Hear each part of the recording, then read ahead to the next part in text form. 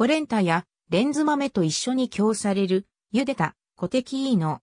コテキーノはイタリアの大きな豚肉ソーセージである。主にモデナ地方で食されているサラミの一種である。普通は調理して食べ、低温で数時間茹でることが多い。名前の由来は豚などの外皮を意味するコティカである。地方によって異なる名称で呼ばれていることもある。伝統的にはレンズ豆と一緒に年越しに食べる。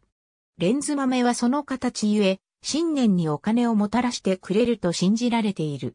マッシュポテトやポレンタなどを添えることもある。レンズ豆を添えたコテキーノ。調理したコテキーノ。コテキーノモデナ、あるいはコテキーノディモデナと呼ばれる、エミリア・ロマーニャ州モデナ産のコテキーノは、原産地名称保護制度指定を受けている製品であり、イタリアの法律で製法と生産が保護されている。標準イタリア語ではない方言では、コテキノあるいはコートギノなどの綴りも見受けられる。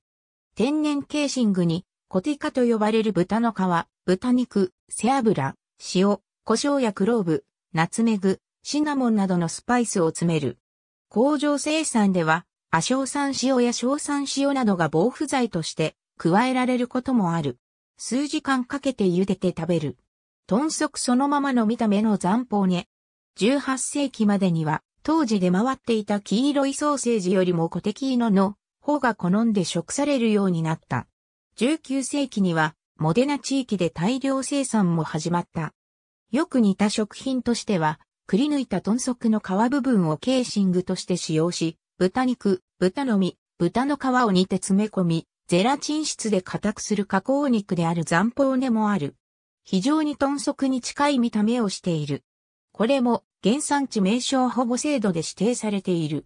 残包根もコテキーノもイタリアでは年末年始、特に年越しにレンズ豆と一緒に食べるのが伝統である。調理済みのものを真空パックにして輸出することも行われている。調理してマッシュポテトを添えた残包根。コテキーノの起源は1511年頃のミランドラに遡ると言われている。1511年にミランドラのガベロが教皇ユリウス2世の軍勢に包囲された折、保存食として生産されたのがコテキーノと残包根の始まりとされている。ロンバルディア州のクレモナ、ベルガモ、マントバ、パビーアやモリーゼ州、トレント自治県などでもコテキーノが食されている。ベネト州でもパドバやビチェンツァなどを中心に食されている。ありがとうございます。